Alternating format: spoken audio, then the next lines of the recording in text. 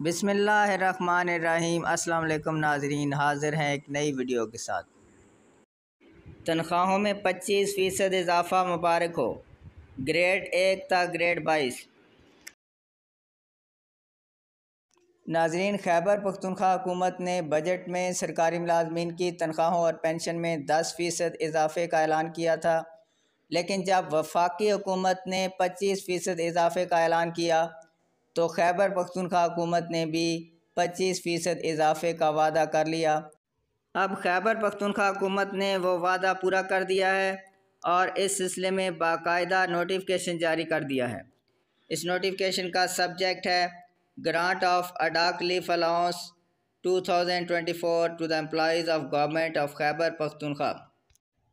اس notification کے مطابق خیبر پختونخوا کے تمام سرکاری ملازمین کو یکم جولائی دو ہزار چوبیس سے گریڈ ایک سے سولہ پچیس فیصد ارداخلی فلاؤنس دیا گیا ہے اور گریڈ سترہ سے بائیس بیس فیصد اڈاکلی فلاؤنس دے دیا گیا ہے۔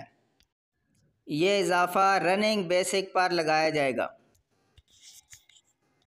اس کے برعکس وفاق اور باقی صوبوں میں تنخواہوں میں اضافے کے سلسلے میں چینج الرٹ کے میسیجز بھی موصول ہونا شروع ہو چکے ہیں۔